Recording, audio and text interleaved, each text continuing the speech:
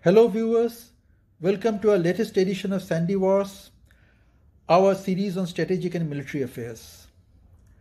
Today, we bring you a very, very interesting discussion with a very esteemed panel on the hot military topic of the day the disengagement between India and China in eastern Ladakh.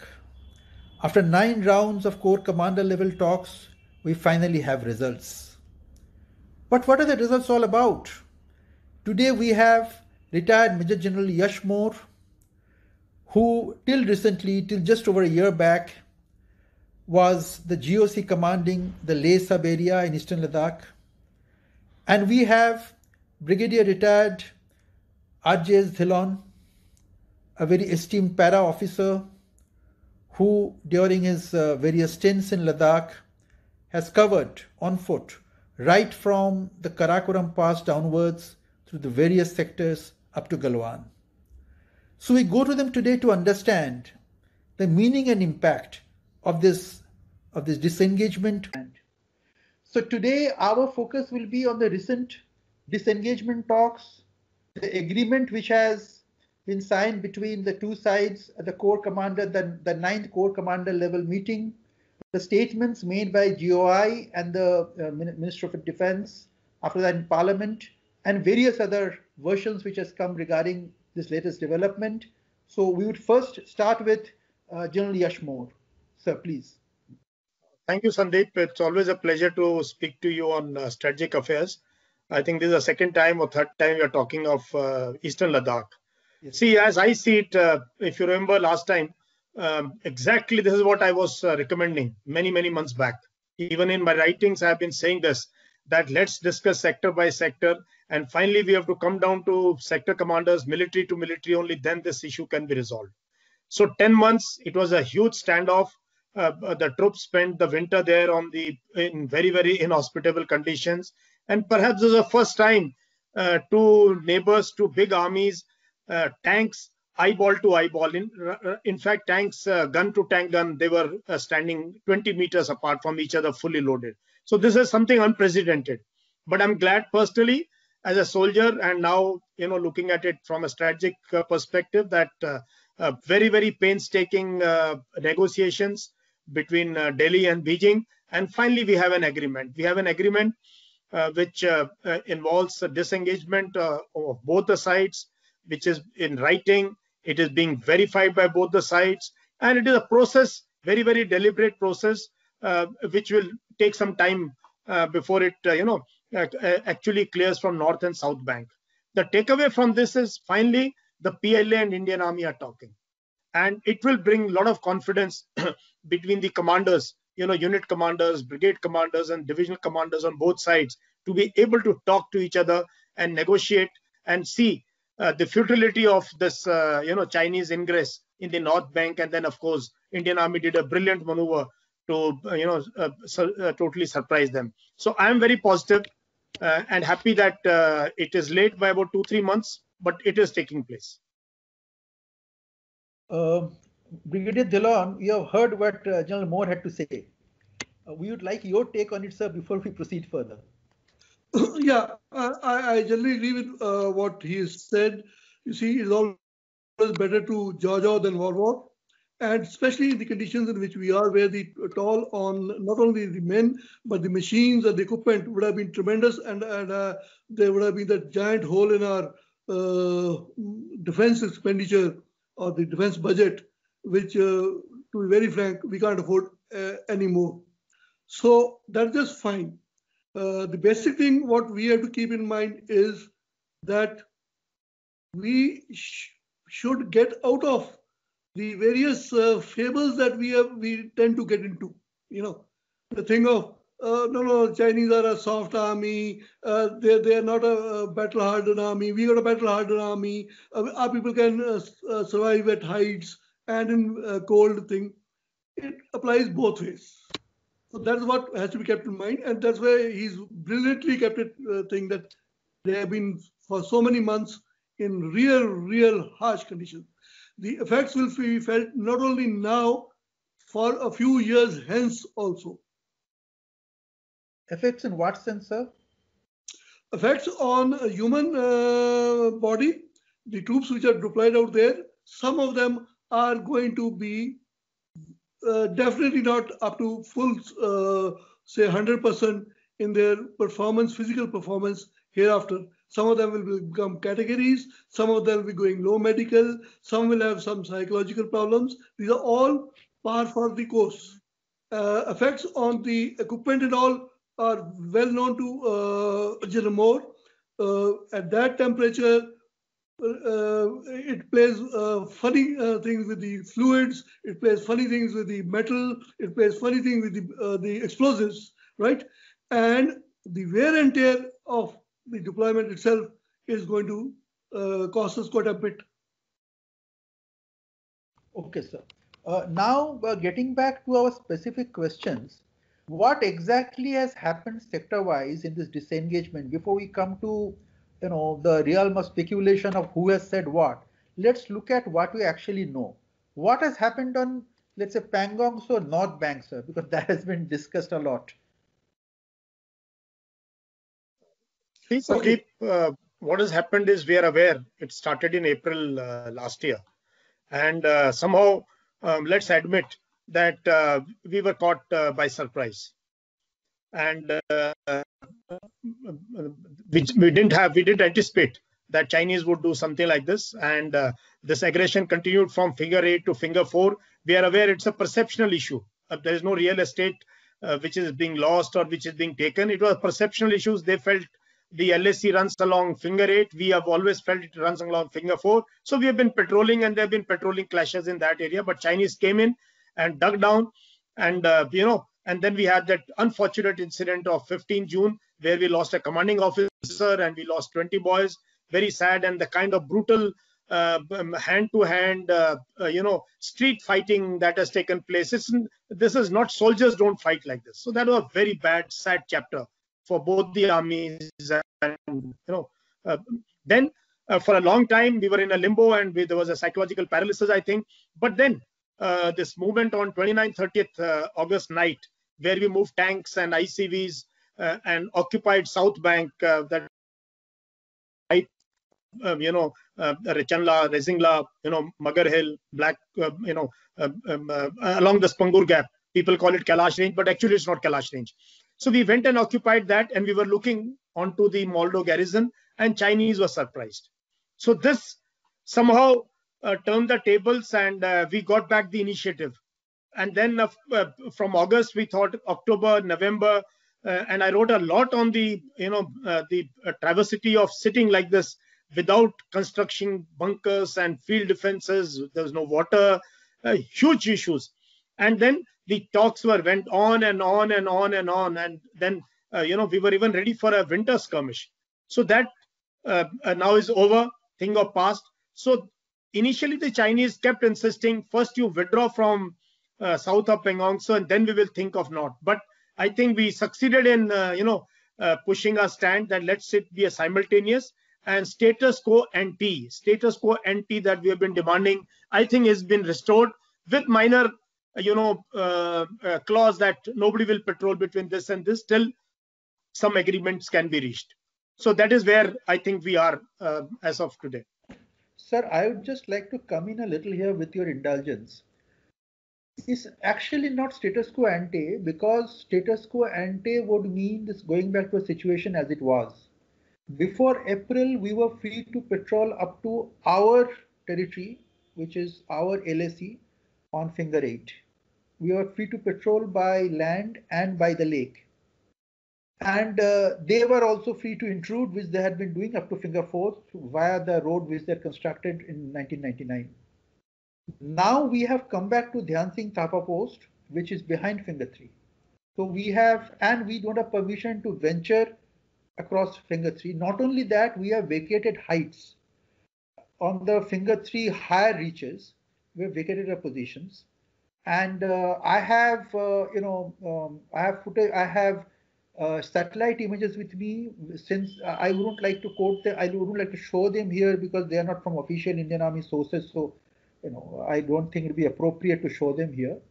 That we have actually, we are 10 kilometers away from uh, Finger 4, whereas they are 8 kilometers away from Finger 4 when they have gone to Sirijap complex That's number one. Number two, in the south bank, sir, uh, Kala Top, uh, Helmet Top, they were sitting on it throughout the winter. We were on the approaches. Uh, we had Gurung Hill, uh, and we, of course, on the on the southern part of uh, the Spangur Gap, Magar, um, the Magar Hill, uh, till you know um, Rezangla, and of course, um, um, and of course, Rekin Rekin Ridge, you know, just across the LAC, uh, Mukpari and all that, that entire uh, length we had. But what what did we achieve, sir? I mean, uh, you see, we have we have not been able to go up to finger eight. Uh, we have in fact lost patrolling rights till finger eight, uh, beyond finger three. And till now, we don't know. We, we, we have heard today that Saturday, the next round of talks will start about other areas, Depsang and southwards, still Gogra, Hot Spring, whatever. So, Brigadier Dhillon, do you think this is status quo ante? No, uh, it will be wrong to call it status quo ante. And that's why the, uh, even uh, uh, all these statements from our side are very carefully worded, right? And uh, here, basically, what has happened is that in this particular segment, okay, we had to concede a, a, a bit of ground in as much as that the area between finger three actually and eight has become a vague area in, in as much as that is not can't even be called no man's land. Because in no man's land, the patrols of both sides operate, whether it's in war or otherwise. Right? Take any of the conflicts uh, in our own area. I remember 54 we, we, we had a no man's land between uh, and uh, Sanpura uh, uh, village and uh, Dograi up ahead till we finally captured it, right? In this case now, what has happened is no patrols will be there, right? Now, as to when they will be restored, we don't know. And to my mind, this is like a boxer he's been showing his movement along the Pangong Tso his real interest is Depsang and area of Galwan. That is real area of interest. This is not, this actually doesn't concern him that much. That's what my, even, my understanding. Even for Pangong, sir, being behind finger three, do you feel since they have pushed up their infra up to Anela, do you think we are in real danger of being outflanked if they come yes. down from Anela? Anytime, anytime, uh, any determined commander across who's gung ho, who wants to do it, he'll do a hook and he'll you'll lose all the fingers, not only finger three. Uh, so, so uh, General Mor, I mean, you know the the area like the back of your palm, like we said. If we go back to Depsang, the area which Brigadier Dhillon is mentioning, and which all of us are very concerned about. You know the lie of the land, right? The logistics wise, as things stand today, uh, see, in south of Pangong, at least we were dominating the Moldo camp and the Spangur gap, and at least that was a very good defensive posture. We could have blocked them over there. You know, there's no way they could have come in through Spangur gap. But in Depsang, what do we have? I mean, what what leverage do we have? Uh, uh, good that negotiations have started? And they have blocked us from patrolling points where we were traditionally uh, you know going. So uh, our uh, you know in fact uh, everything boils down to our road network that is coming up in that area and our use of uh, you know dbo over the years and our you know china felt that we have certain designs in that area. So be that it may be but i think by negotiating and by you know uh, putting across uh, our viewpoint strongly, I'm sure we will be able to go back to the patrolling points which we are doing earlier. My point is that uh, uh, you see, it's better to talk, and this is no way to manage an international border. Finally, someday, even if we start today, long-term vision for us is that we continue this and somehow delineate or mark the LAC. Armed forces, professional forces don't have such borders anywhere else in the world which are not marked, which are, you know, uh, skirmishes of this kind, and they can open up anywhere. So two mature nations uh, cannot be going in this manner. So I feel if uh, this is what the assurance that has come, uh, from our uh, you know uh, authoritative sources that uh, once this is resolved, then we will go and discuss Depsang. So let us wait. I'm sure we are we have learned in this 10 months the art of negotiation and being firm where we need to be firm. And for once, I found it was a very good you know reciprocal or a kind of a handshaking and a, a joint effort between the MEA and the MOD, between the military and the diplomats. So I'm sure uh, in national interest, whatever decision uh, the people take, and we have to trust our leadership. Uh, I keep saying we have to trust our leadership uh, on this issue and avoid zingoism and rhetoric. I see this all the time, and this really disheartens a soldier like us. You know, too much of this. Somebody says yes, land is going. Somebody nothing like that. I think we are professional army, and the army belongs to the nation, and uh, uh, whatever decisions are taken, they will always be taken in national interest. So the decisions will be taken by whom? For if, if it's a military man, now is it the military man's decision to uh, you know to escalate or not escalate, to concede land or not to concede land? Is the military man's decision or the political leadership decision? See, political leadership is there to support, give guidance, but uh, on the borders, it is the military who know the ground and uh, we've been there for now, uh, you know, uh, 70 years, and effectively very strongly since 19 debacle of 1962. And large amount of negotiations have taken place. So my point is that this kind of arrangement on the LAC, long term, we need some solution. We need some marking. You know, by give and take, by negotiating.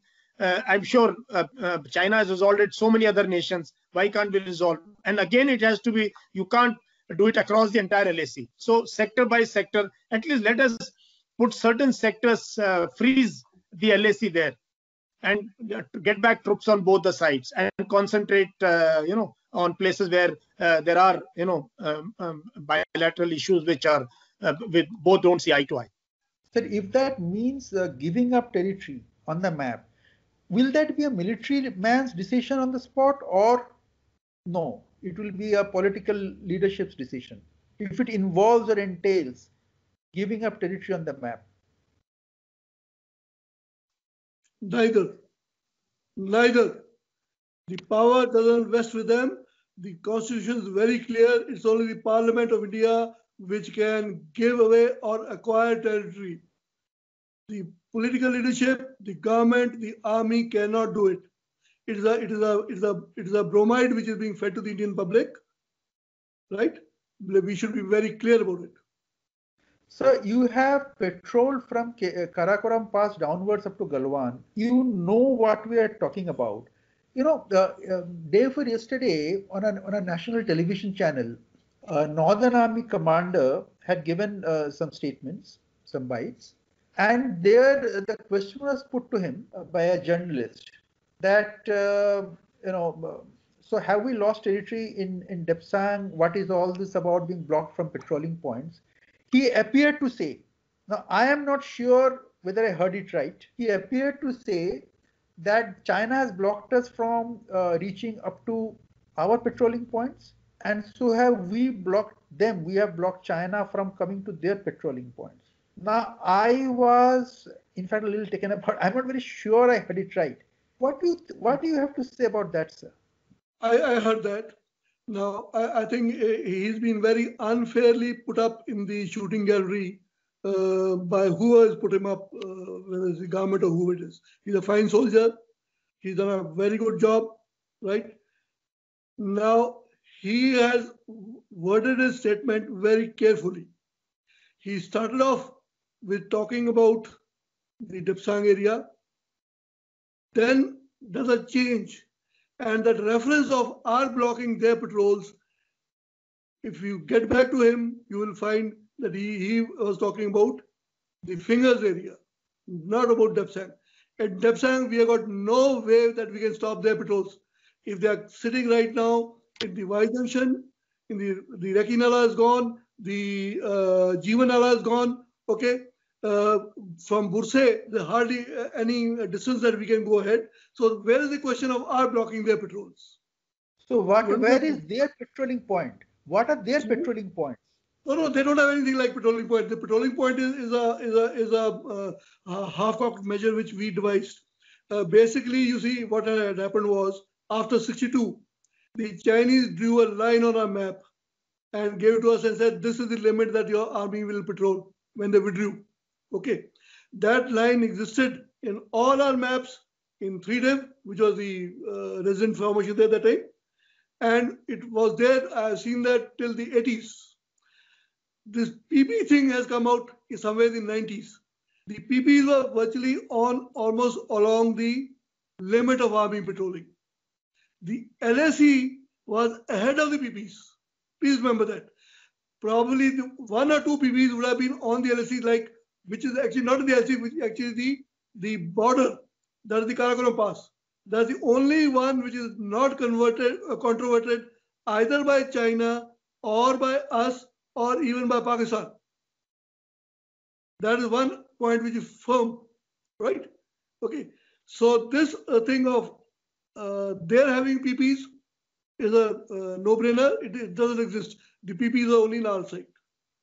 Okay, sir. So, so having patrolled along that, uh, you know, line uh, uh, the limit of army patrolling line, and which are known as PPs after 1993, yeah. you feel that so not just Depsang, up to Galwan, you know, even at Galwan, you have that 14, for example. That's also behind the LSE, right? That is behind the LSE. That is behind the LSE, but on the limit of uh, army patrolling, uh, right? But yeah. it is definitely behind the LSE. 1.2 kilometers, I think, behind the LSE, right? Something like that. Something like that. So if we have created a buffer zone, that that word is now the the flavor of the season. You know, if you have created a buffer zone, we have created inside our territory, right? See, I, I. I, think this is very wrong. As, as, a professional, I mean, we shouldn't play around with words like that and, and use them as a smoke screen. The fact remains that this is area where they told us very clearly, you will not venture in. So the result today is that we are sitting on the Shyok River and we are nowhere in the Galwan, right? So all this nonsense which is getting talked about in the Galwan Valley, we are doing this thing and that thing is all bum. All right? We are nowhere in Galwan Valley. There's not a single sword out there. We don't have the height, sir? No, sir. We don't have. We, we don't. Until unless, until unless the local uh, formation commander in the last uh, the seven, eight months has uh, put in defense works on the crest line just across the Shyok straddling the Galwan. Okay, so you are saying along the estuary, right? Just across the estuary. Uh, aside the estuary, because you see the estuary, estuary opens up. Behind that, it is a fairly narrow valley, right? Any force which has to be moved in can be very effectively interdicted en route on the line, right? Once it gets into the estuary, then thereafter it got the options of going down towards Shyok Shalu or going towards Francisco uh, and doing whatever it wants to do. So, so, so, General Mor, what is it that we can hope for in the next round, which is on Saturday? Uh, you know, we have been told that uh, you know finally uh, the Chinese side and our side will be discussing Depsang, uh, Gogra, Hot Spring, etc. What can we hope for from that meeting? Very, very, very realistic terms, given what leverage we have as of today uh, uh, in fact, we won't come to know much. Last nine corps commanders talks also, uh, just few flyers came from here and there. People who had some access, they quoted some sources within the army, but we didn't know anything. And this agreement also took. Uh, it was sometimes, I believe, uh, it took a month and a half to finally ratify from both the governments and all. It's very painstaking kind of an effort. So I, I don't expect much out of this. But what I expect out of this is at least this process that is started in North Bank and South Bank, this will further get consolidated. This pullback of mechanized elements, even you know, this just the tanks and artillery is falling back. Heavy equipment, infantry and special forces are still there on those posts. So that will be the next stage. So probably it is a confidence building measure between the two armies. This kind of acrimony, the kind of you know uh, uh, trust deficit uh, which has been generated. That for the first time you know, so many meetings between the highest uh, military authorities on both sides. Otherwise, maximum was uh, maybe the GOC-3D would be once in a while going. And we had very good relations going on till last year, April. So confidence building is very important. Uh, I see this as a step towards uh, further coordination and further belief in each other. I, I, I think that is maximum this can achieve. Uh, this next you, commanders mentioned that we should, by at all costs, avoid jingoism and, and cheap talk, you know, on such an important issue. So, in the other day, in the in, in that in that same channel, we we saw a, a statement that uh, India is China on the run. Do you think that's detrimental to what's happening? This kind no, of that was very sad. I see these pictures on social media and channels just showing retreat. No, it's not a retreat. I'm telling you, we, we do a lot of damage uh, or by this uh, rhetoric, muscle flexing, TV studios. Uh, we have been doing it everywhere. It, uh, professional nations don't need to do this. In fact, uh, uh, I don't know if it's being encouraged by someone, but this kind of a thing should be put down. I don't know what the Chinese would be showing about us. We have no idea. So this one side of a thing, you know, it it actually spoils the entire atmosphere. We shouldn't be. I somehow don't like that kind and it can spook uh, you can it can spook the other side if they hear the chinese on the run india puts china on the run kind of a statement it can spook them right yeah. not only that to be very frank the genesis of this trouble which was visited on us is due to our jingoism it is due to our young officers and uh, commanders carrying LOCing the LAC. You understand the point? In LOC, we have got used to being able to finger the Pakis as and when we want. So, uh, as far back as, say, 2005, uh, 2003, do you know that a company commander on the LOC could ask for one round of battery uh, field uh, artillery fire without reference to anybody, including CO? These sort of things are not done. So we, we, we had got used to the sort of, sort of thing no, of uh, at times even uh, shelling the civilian areas, uh, killing their uh, kind and other things, which is not done. But it, it, it tends to make a person puff up. It gives them a, a match of feeling. No, oh, I, I've got them on the run. I got the Pakis on the run. We transpose that thinking onto the LAC. The, to be very frank, the Chinese tolerated for some time. And then they decided, okay, enough is enough. And this is my take on it. Uh, well, uh, people may think otherwise. Okay, so so then can we agree uh, at the if, if we want to summarize now that uh, what has happened till now is a step uh, is a good step towards peace because uh, you know going on and on for a year through high winter and, and high hell and you know to, to, the detriment of our troops physically to our equipment to our budget and all the rest of it without achieve, achieving anything at all i mean it was not going anywhere so at least we have taken a step now but you have to manage it very well right going ahead it is going to be a long grind it is going to be long grind uh, we will uh, like the coming thing we will try to uh, discuss about Depsang. They'll tell us about Demchok. You know that sort of thing. Uh, uh, a quid pro quo will carry on ultimately, to my mind, what the Chinese are going to enforce onto us is our acceptance of the 1959 line period. But that cannot be done without, without, without parliament being taken into consideration. No, no, you see, that's what, that, that is where the government is on a cleft stick. That's where the government is on a cleft stick. Because we have got that uh, silly resolution passed by the House uh, that we'll take back all our territory. It is something which, which just can't be done. So no, so the government is, is, is in a fix there because they cannot accept 59 claim line officially, right? Officially they can't. So they, they will do this smoke screen of not an inch being lost and nothing being ceded. But obviously, ceding of territory can only be done by parliament. It can't be done by the government or it can't be done by the army. So General Mor, uh, my request is um, as uh, you know uh, as professionals who are not only true to their professions but also true to the country i'm sure you all would be keeping a very keen eye on on what happens in the next few days and uh, next few weeks. And we'll again get back to you to this esteemed panel because this is in the national interest that people know what's happening from uh, from sources who are professional, who know the land, the lie of the land, who know the forces, and who are committed to the country. At the same time, they don't have a political axe to grind. I, th- I think that's very important. Absolutely, absolutely. Thank you, thank you, sir. Uh, thank you, Brigadier Dhillon.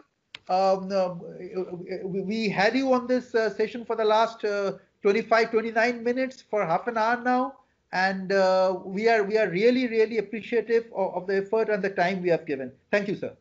Thank you, sir. Thank you very much. Thank you, sir.